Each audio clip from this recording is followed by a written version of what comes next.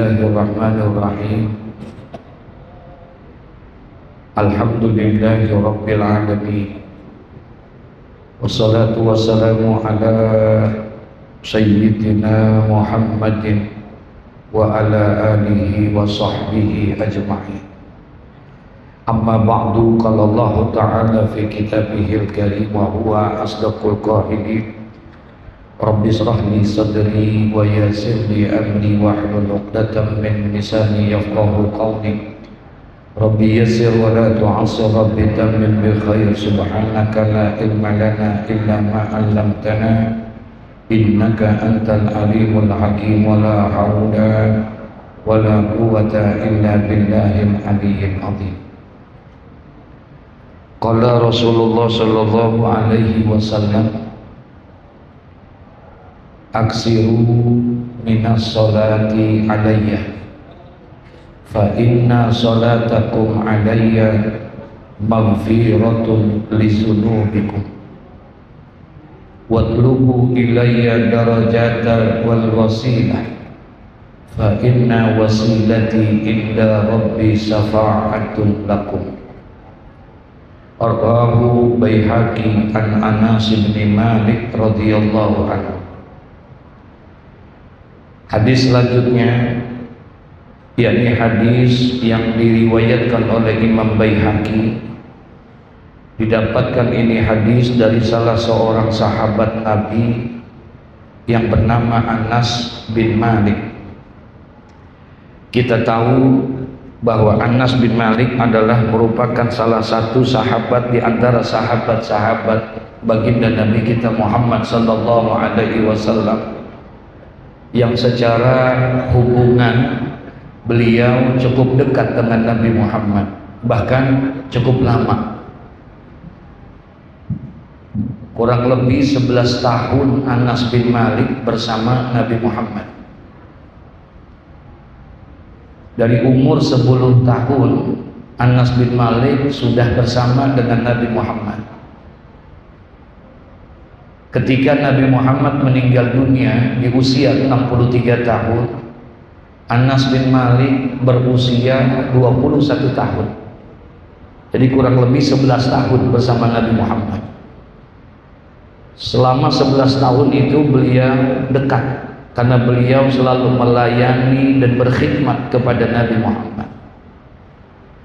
Makanya di antara sahabat yang paling banyak menerima hadis termasuk di antaranya Anas bin Malik. Kurang lebih 2200 hadis Anas bin Malik dapat hadis dari Nabi kita Muhammad sallallahu alaihi wasallam. Dan satu di antaranya adalah hadis yang akan kita bahas pada kesempatan ini. Di mana Rasulullah sallallahu alaihi wasallam bersabda aksiru minas salati alayya perbanyaklah oleh kamu sekalian daripada salawat kepadaku fa inna salatakum alayya karena sesungguhnya salawat kamu kepadaku maghfiratun lizunubikum akan menghapuskan dosa-dosa kita. Subhanallah dari hadis yang singkat ini Rasulullah Shallallahu Alaihi Wasallam ingin memberikan sebuah informasi kepada kita. Bahwa dengan sifat Rahman dan Rahimnya Allah terhadap Nabi Muhammad dan juga terhadap umat Nabi Muhammad Allah Subhanahu wa taala membukakan pintu ampunannya, pintu maghfirahnya itu tidak dengan cara yang menyulitkan hamba-hambanya. Kalau seandainya dosa-dosa yang dilakukan oleh umat Nabi Muhammad kemudian taubatnya baru bisa diterima kalau seandainya dia tawaf di Baitullah maka itu akan menjadi berat buat hambanya akan menjadi berat buat umat-umat Nabi Muhammad kalau seandainya dosa-dosa hanya bisa diampuni oleh Allah ketika dia tawaf di Baitullah. Kira-kira berat atau tidak? Kalau seandainya dosa itu hanya bisa dihapus ketika kita wukuf di padang Arafah, maka amat sangat berat buat kita. Tapi Allah Subhanahu wa taala dengan sifat rahman dan rahimnya Beliau membukakan pintu kasih dan sayangnya, kemurahannya kepada baginda Nabi Muhammad dan juga kepada umat Nabi Muhammad ternyata bisa meminta ampun, memohon ampun kepada Allah dan Allah akan bukakan pintu ampunannya dengan cara yang amat sangat mudah dan amat sangat ringan. Enggak perlu harus ke Baitullah. Enggak perlu kita harus hukum di padang Arafah kita bisa menghapuskan dosa-dosa kita. Dengan sebab kemuliaan Nabi Muhammad kita cukup dengan bersolawat kepada Nabi Muhammad. Jadi dengan kita bersolawat kepada Nabi Muhammad maka insya Allah kata Nabi fa inna salatakum alayya. Karena sesungguhnya solawat yang kalian baca untuk aku maghfiratun lizunubikum akan menghapuskan dosa-dosa kamu. Masya Allah. Alhamdulillah. Bisa jadi mungkin kita Bertobat kita dengan tahajud kita kurang. Betul ya? Bisa jadi mungkin kita Bertobat kita kepada Allah dengan duha kita kurang. Dengan membaca Quran kurang Dengan puasa sunnah kurang Dengan bersodakoh kurang tapi Allah Subhanahu wa taala akan bukakan pintu ampunan untuk kita ketika kita bersolawat kepada Nabi Muhammad. Ini menggambarkan betapa kedudukan Nabi Muhammad di hadapan Allah Subhanahu wa taala mempunyai kedudukan yang amat sangat tinggi di hadapan Allah. Makanya oleh karena itu dalam paham ahlu sunnah wal jamaah wajib buat kita mengimani, meyakini tidak ada makhluk yang mulia di hadapan Allah di antara makhluk-makhluk Allah itu adalah kecuali Nabi kita Muhammad sallallahu alaihi wasallam. Wajib buat kita meyakini bahwa tidak ada makhluk yang paling mulia di hadapan Allah kecuali adalah baginda Nabi Muhammad.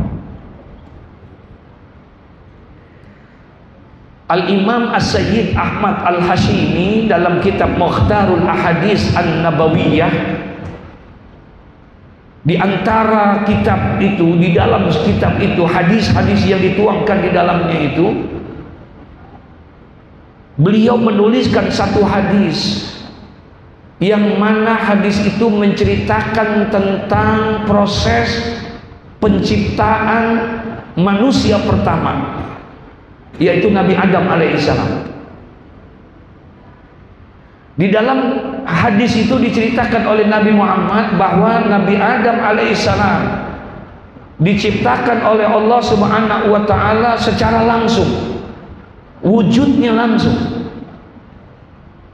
Tubuhnya, badannya, tangannya, kepalanya, kakinya semua diciptakan secara langsung oleh Allah.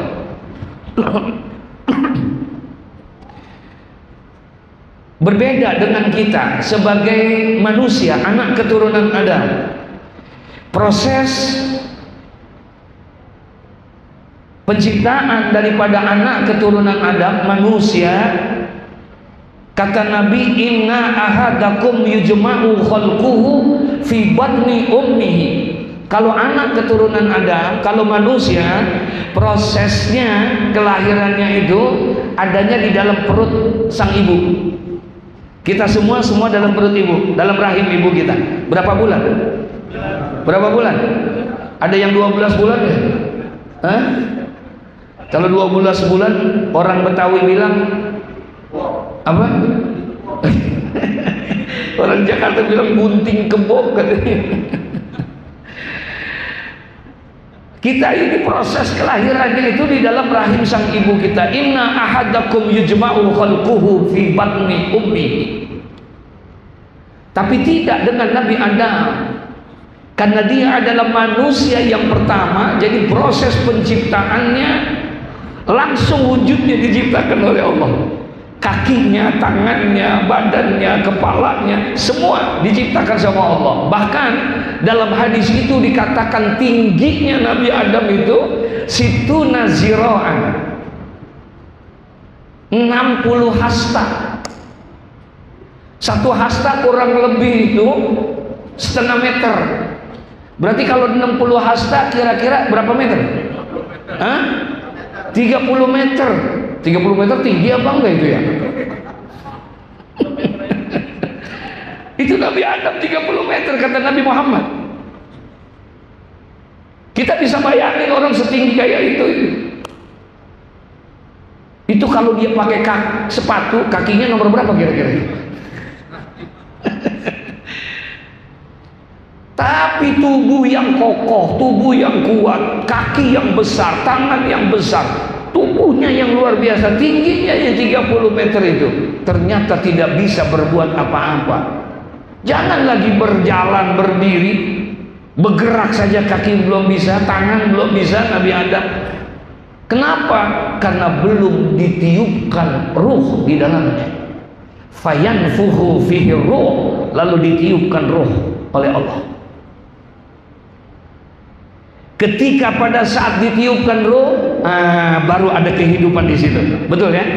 Tangannya mulai bergerak, kakinya mulai bergerak, semuanya mulai bergerak. Kayak kita lah ya jasad setampan apa pun itu jasad seganteng apa pun itu jahat sejasad kita secantik apa pun jasad itu kalau seandainya tidak ada roh di dalamnya lihat mayat tangannya ada nggak mayat tangannya ada nggak kakinya ada nggak tapi ternyata tidak bisa bergerak karena tidak ada apa roh Nabi Adam pun demikian. Fayan fuhu fih roh. Ketika ditiupkan roh, barulah di situ bergerak. Ada kehidupan. Duduk Nabi Adam. Sebagaimana duduknya kita seperti ini. Kemudian dia bersihkan dirinya itu. Tubuhnya itu karena penuh dengan tanah. Karena memang Nabi Adam diciptakan dengan apa? Dengan tanah. Beliau diciptakan fi yaumil Jum'ah. Pada hari Jumat bainal asri wal maghrib waktunya itu antara asar dan maghrib di hari Jumat itu Nabi Adam bangun Nabi Adam kemudian dia bersihkan dia gerakkan tangannya dia gerakkan kakinya ada kehidupan kemudian dia buka kelopak kedua kelopak matanya dia lihat itu keindahan yang ada di sekitarnya dari sekian banyak keindahan-keindahan itu ada satu yang menjadi perhatian Nabi Adam apa? Ternyata di dalam surganya Allah tertulis satu tulisan besar di sana. La ilaha illallah Muhammadur Rasulullah. Ada nama Muhammad. Padahal Muhammad udah ada belum? Udah ada belum? Belum ada Nabi Muhammad. Tapi ada nama Muhammad. Sehingga akhirnya Nabi Adam bertanya kepada Allah, "Ya Rabbi, man huwa Muhammad?" Ya Allah, siapa itu Muhammad? Kok namanya begitu dekat dengan engkau? Kok namanya berdampingan dengan nama engkau? Man huwa Muhammad? Siapa Muhammad? Berkata Allah, "Ya Adam, laulahu ma khalaqtuka ya Adam." walau lahu ma khalaqtul janna wan nar walau lahu ma khalaqus samawati wal ard kata Allah Adam kalau bukan karena Muhammad aku tidak akan ciptakan engkau walau lahu ma khalaqtul janna wan nar kalau bukan karena Muhammad pun aku tidak akan ciptakan itu surga dan neraka aku tidak akan ciptakan alam semesta ini kalau bukan karena Muhammad Masya Allah begitu kedudukannya Nabi Muhammad di hadapan Allah Subhanahu wa taala. Makanya ketika pada saat orang bersolawat Allah bukain Nabi Adam diterima tobatnya ketika dia ada di Mekah. Sebelumnya dia bertobat tidak diterima, tapi ketika dia bertobat di Mekah, baru diterima tobatnya oleh Allah Subhanahu wa taala. Nabi Adam. Bayangin kalau seandainya tobat kita diterimanya di Mekah. Bagaimana kira-kira? Berat kita, repot. Tapi ternyata tidak Allah bukakan itu karena berkat kemuliaan Nabi Muhammad. Makanya dianjurkan kita untuk memperbanyak apa? Salawat kepada Nabi Muhammad. Maaf, sering saya sampaikan, ibadah salawat ini beda dengan ibadah-ibadah lain. Ibadah salawat punya karakter tersendiri, ibadah salawat punya keistimewaan tersendiri. Dia salawat ini langsung yang mengajarkan itu adalah Allah. Beda dengan sholat. Kalau sholat yang mengajarkan Nabi. Puasa yang mengajarkan Nabi. Haji yang mengajarkan Nabi. Sholat misalnya. Nabi yang mengajarkan kita. Apa kata Nabi Muhammad? Sallu kama ra'aitumuni usolli. Sholatlah kamu sebagaimana kamu melihat aku sholat. Berarti yang mengajarkan siapa? Nabi Muhammad. Ketika Allah perintahkan haji, kata Nabi Muhammad, "Khuzu anni manasikakum." Ambillah oleh kamu tata cara melaksanakan ibadah haji dari aku kata Nabi Muhammad. Contoh aku ketika engkau melaksanakan haji. Berarti yang mengajarkan itu adalah Nabi Muhammad. Beda dengan salawat. Beda dengan salawat. Dia punya karakter tersendiri. Masya Allah. Allah perintahkan sholat, tapi Allah tidak melaksanakan sholat. Allah perintahkan sholat, tapi Allah tidak melaksanakan sholat. Allah perintahkan puasa, tapi Allah tidak puasa. Allah perintahkan haji, tapi Allah tidak haji. Tapi ketika Allah perintahkan bersolawat kepada Nabi Muhammad Allah bersolawat tidak? Inna allaha wa malaikatahu yusalluna ala nabi. Ya ayyuhalladzina amanu Sallu alaihi wa sallimu. Allahu Akbar. Ini Beruntungnya kita menjadi umat Nabi Muhammad dengan salawat kita. Allah bukain itu pintu ampunan kita. Apalagi sekarang, Pak. Nih, insya Allah hari ini kita masuk bulan Saban, betul ya? Ini tanggal 1 1 Saban. Ini masuk bulan Saban. Kata Nabi Muhammad, bulan Saban ini adalah bulan kelahiranku yang kedua, katanya. Bulan Sa'ban ini adalah merupakan bulan kelahiranku yang kedua. Kelahiranku yang pertama secara fisik. Aku dilahirkan dari rahim ibuku Aminah itu di bulan apa? Di bulan Rabiul Awal. Itu bulan kelahiranku yang pertama. Fisikku lahir dari rahim ibuku Aminah. Tapi kelahiranku yang kedua adalah di bulan Sa'ban karena di bulan Sa'ban ini pengangkatan derajatku di hadapan Allah, makomku, kedudukanku, legitimasi tentang kenabian Nabi ada di situ di bulan Sa'ban. Kenapa? Karena di bulan itu Allah turunkan ayat Innallaha wa malaikatahu yusalluna 'alan nabi Ya ayyuhalladzina amanu sallu alaihi wasallimu taslima. Ayat itu diturunkan di bulan apa? Sa'ban di bulan ini Pak. Diturunkannya di bulan Sa'ban makanya ulama mengajarkan kepada kita menganjurkan dan mengarahkan kepada kita amalan yang paling terbaik yang kita lakukan di bulan Sa'ban tidak lain adalah memperbanyak apa? solawat kepada Nabi Muhammad beda dengan Rajab yang sudah kita tinggalkan itu Ada hadis walaupun kedudukan hadis ini lemah namun bisa menjadi motivasi buat kita. Katanya Rajab Syahrullah, Sya'ban Syahri, wa Ramadan Syahrul Ummati. Rajab bulannya Allah, di mana Allah membukakan pintu-pintu magfirahnya Allah membukakan pintu ampunannya. Maka dibukakan itu. Itu di bulan Rajab dianjurkan amalan yang paling terbaik. Di bulan Rajab adalah memperbanyak istighfar di bulan Rajab. Memohon ampun di bulan Rajab. Itu amalan yang paling dianjurkan kita. Di bulan Rajab wasabana sa'ri dan bulan Sa'ban itu adalah bulannya aku kata Nabi Muhammad. Jadi bulan Sa'ban adalah bulannya aku. Karena di situ aku dinaikkan satu kedudukan yang sangat tinggi tidak diberikan kepada nabi dan rasul yang lain. Masya Allah diturunkan ayat tadi Inna Allah wa malaikatahu yusalluna ala nabi. Maka itu dijadikan sebuah kelahiran aku yang kedua kata Nabi Muhammad wa ramadana dan bulan Ramadan syahrul ummati Bulan Ramadan adalah bulannya siapa? Bulan umatku kata Nabi Muhammad. Karena memang tidak diberikan Ramadan kecuali hanya untuk umatnya Nabi Muhammad.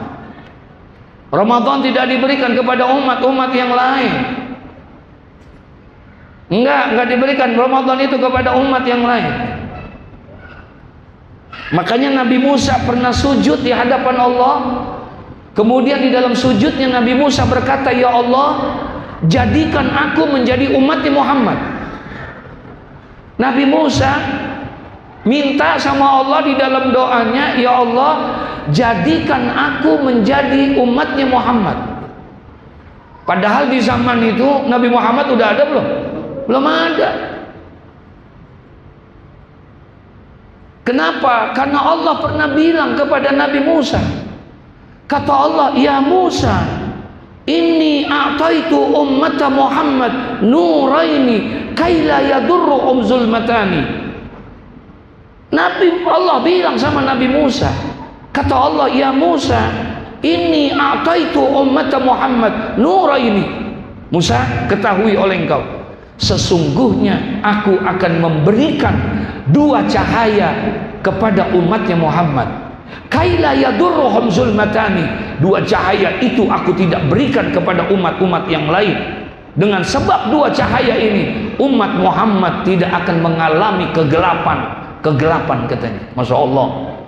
Ada dua cahaya yang hanya Allah berikan buat siapa? Umat Nabi Muhammad. Umat yang lain gak dikasih sampai bertanya Nabi Musa apa kata Nabi Musa wa ma nurani ya Rabbi apa dua cahaya itu ya Allah? Yang hanya engkau berikan buat umat Muhammad. Engkau tidak berikan dua cahaya itu kepada umat yang lain. Kemudian Allah menjawab, dua cahaya itu adalah nurul Ramadan wa nurul Quran. Cahaya Ramadan dan cahaya Al-Quran. Allah tidak berikan itu kepada umat yang lain. Allah hanya berikan kepada umat Nabi Muhammad. Dengan sebab dua cahaya itu maka umat Muhammad tidak akan mengalami dua kegelapan yaitu kegelapan alam kubur dan kegelapan yaumul kiamah. Insya kita insya Allah alam kubur gelap apa terang? Gelap apa terang? Emang udah pernah ngerasain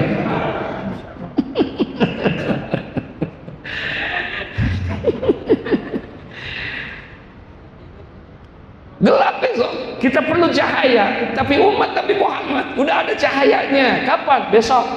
Ramadan. Insya makanya sambut tuh bulan Ramadan. Jangan sia-siain. Mudah-mudahan Allah panjangin umur kita.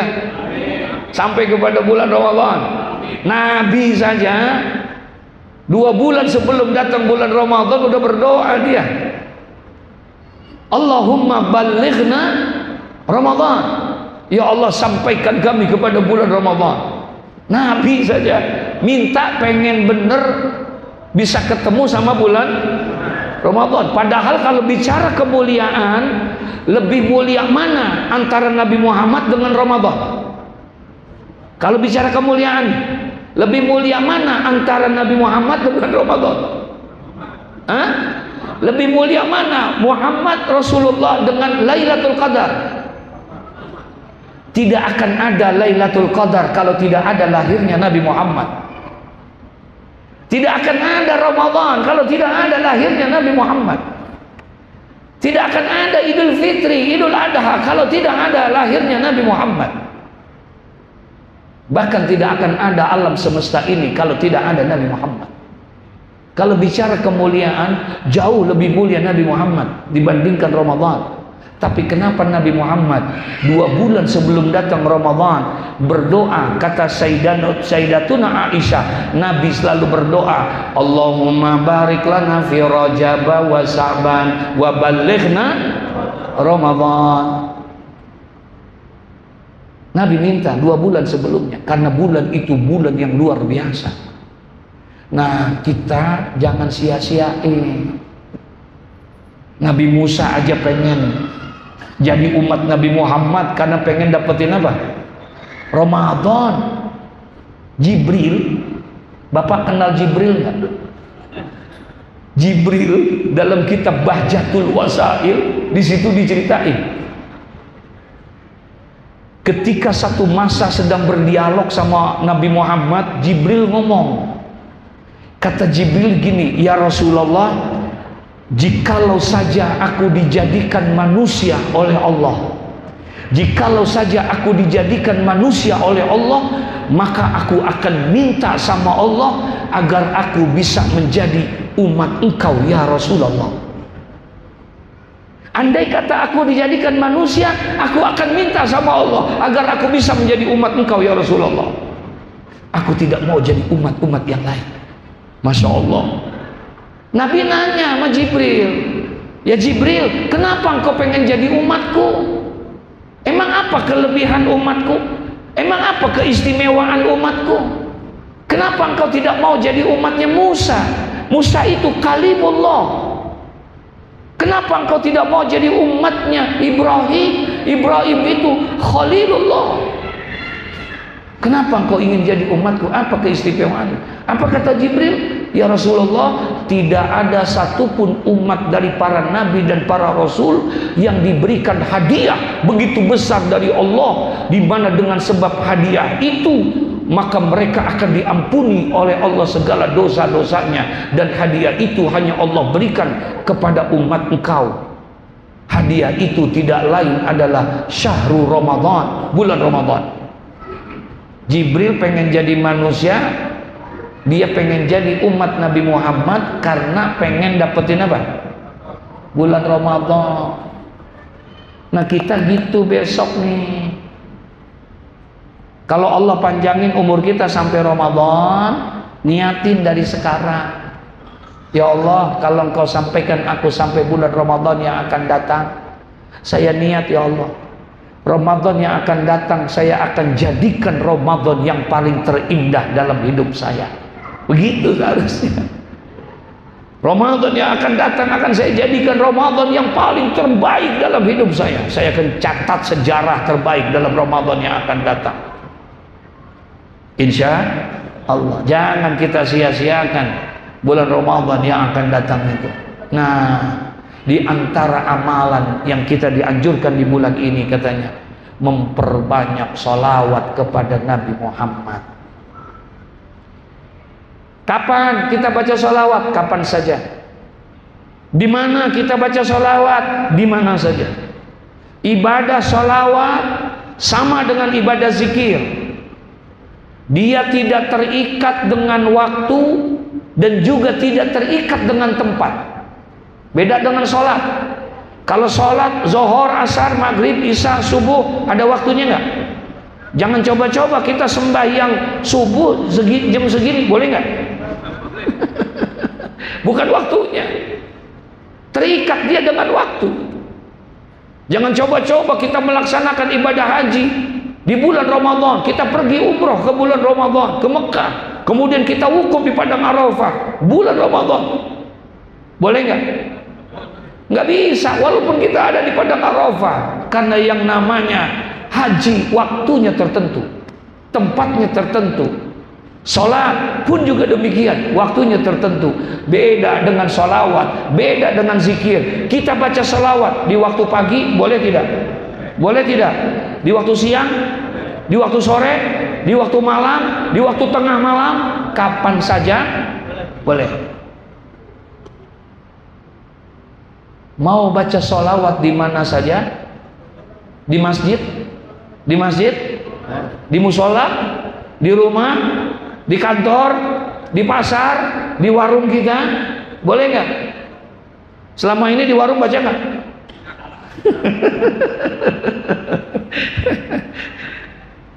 Masya Allah, Masya Allah. Baca kita, kecuali di tempat-tempat yang dimakruhkan. Nggak boleh kita makruh hukumnya berzikir, baca sholawat di mana? Di kamar mandi. Kamar mandi makruh kita. Ah itu kata Pak Ustadz suruh memperbanyak baca apa? Sholawat pas mandi baca apa? Sholawat nggak boleh makruh. Karena itu tempat najis, tempat kotor. Nggak boleh makruh. Haram hukumnya baca sholawat. Kapan? Kalau lagi berbuat maksiat. Nggak boleh berbuat maksiat baca sholawat. Haram hukumnya. Sambil banting kartu baca sholawat. Allahumma sholli ala sayyidina Muhammad. Juga. Mati lu. Lu yang mati entar. nggak boleh kita. Haram hukumnya. Iya nggak boleh. Jangan berbuat maksiat pakai itu. Tapi kalau kita baca zikir nanti pak mohon maaf. Dengan sebab sholawat itu hubungan kita akan dekat dengan Nabi Muhammad. Kita jauh loh pak sama Nabi. Kalau bicara secara fisik kuburan Nabi ada di Madinah. Betul ya? Ada di Madinah kita di Indonesia kita di Jakarta Puluhan ribu kilometer antara kita dengan Nabi Muhammad. Yang kedua, kita nggak pernah jumpa sama Nabi Muhammad. Kita nggak pernah lihat Nabi Muhammad. Tapi kenapa kok getaran jiwa kita, cinta kita sama Nabi Muhammad begitu tingginya? Saya yakin nih Pak yang hadir di sini, kalau di luar sono ada yang menghina Nabi, marah tidak? Marah tidak? Kenapa bisa marah? Kita nggak pernah lihat dia kok. Kita nggak pernah ketemu sama Nabi Muhammad. Kita nggak pernah jumpa sama Nabi Muhammad. Kok bisa segitunya kita cinta sama Nabi Muhammad? Nggak rela kita kalau Nabi Muhammad dihina. Nggak rela kalau Nabi Muhammad itu dicaci maki dan lain sebagainya. Oh kita bisa korbankan segala-galanya untuk Nabi Muhammad. Sampai begitunya kita. Kenapa? Karena ada hubungan yang luar biasa kita sama Nabi Muhammad. Apa yang menyambungkan kita dengan Nabi Muhammad? Sampai begitu getarannya, apa yang menyambungkan itu? Tidak lain adalah karena solawatnya kepada Nabi Muhammad. Semakin banyak solawat yang kita baca kepada Nabi Muhammad Demi Allah semakin banyak salawat kepada Nabi Muhammad Maka akan semakin tinggi kecintaan kita sama Nabi Muhammad Semakin banyak sholawat kita akan semakin tinggi kecintaan kita kepada Nabi Muhammad. Tapi semakin sedikit kita, apalagi tidak pernah bersolawat kepada Nabi Muhammad, percayalah tidak akan ada getaran cinta kita kepada Nabi Muhammad. Nggak akan berpengaruh pak, Nabi Muhammad dihina, pasti diam aja dia. Nabi Muhammad dikata-katain, diam aja. Nggak ada getaran, kenapa? Nggak ada cinta. Nggak ada getaran di sini karena tidak ada pernah ada salawat kepada Nabi Muhammad. Kita memang belum pernah jumpa sama Nabi. Kita belum pernah ketemu sama Nabi. Kita belum pernah hidup bersama Nabi. Tapi insya Allah dijanjikan sama Nabi Muhammad. Inna aulan nasi bi yaumal qiyamah. Sesungguhnya manusia yang paling dekat dengan aku nanti pada hari kiamat adalah orang yang paling banyak bersolawatnya kepada aku insya berarti masih ada peluang buat kita untuk bisa duduk bersama dengan Nabi Muhammad walaupun kita tidak pernah jumpa sama Nabi Muhammad. Ketika Nabi Muhammad sedang berhadapan sama sahabat-sahabat seperti ini Pak. Semua sahabat menghadap kepada Nabi. Semua. Abu Bakar, Umar, Utsman, Ali dan lain sebagainya hadir semua. Nabi sedang menyampaikan tausiah. Nabi sedang menyampaikan pelajaran dan dakwahnya. Tiba-tiba ada seorang anak muda datang kemudian anak muda itu dipanggil oleh Rasulullah apa kata Rasulullah dipanggil anak muda itu disuruh duduk di sampingnya Nabi Muhammad. Anak muda itu tiba-tiba disuruh duduk di sampingnya Nabi Muhammad. Semua orang pada heran. Siapa dia? Orang disuruh duduk kalau seandainya disuruh duduk sama orang yang terhormat, kira-kira jadi terhormat nggak? Bertanyalah sahabat, ya Rasulullah, apa keistimewaan anak muda ini? Kenapa dia sampai engkau dudukan di sampingnya? Apa kelebihan anak muda ini? Kenapa engkau sampai dudukan itu? Apa kata Nabi Muhammad? Tidak ada di antara kalian yang paling banyak bersolawatnya kepadaku kecuali anak muda ini katanya. Tidak ada di antara kalian yang paling banyak solawatnya kepadaku kecuali adalah anak muda ini. Masya Allah. Sahabat itu kembali bertanya Ya Rasulullah Bagaimana engkau tahu Kalau orang itu banyak salawatnya Padahal rumahnya jauh. Engkau tidak pernah lihat dia di mana dia baca salawatnya Kapan dia baca salawatnya Apakah di rumah? Apakah di kantor? Apakah di pasar? Atau di mana saja? Engkau tidak pernah melihat. Tapi kenapa engkau bisa tahu Kalau dia paling banyak bersolawatnya? Apa kata Nabi Muhammad? Cahaya orang yang berselawat akan ada cahaya di dalam dirinya. Orang yang suka berbaca selawat maka akan ada nur ada cahaya dari wajahnya akan keluar dari wajah itu kata Nabi Muhammad Masya Allah. Jadi besok kita di yaumul kiamah nggak perlu ngaku-ngaku. Saya umatnya Muhammad saya umatnya Rasulullah nggak perlu. Nabi udah tahu karena ada tandanya yaitu banyak apa? Salawat kepada Nabi Muhammad. Ada nurnya ada cahayanya. Itu yang akan membawa kita nanti di bawah Nabi Muhammad. Insya mudah-mudahan ada manfaatnya buat kita. Al-Fatihah